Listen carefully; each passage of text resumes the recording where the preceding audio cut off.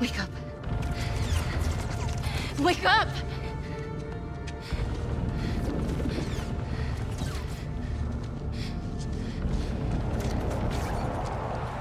This might sting a little.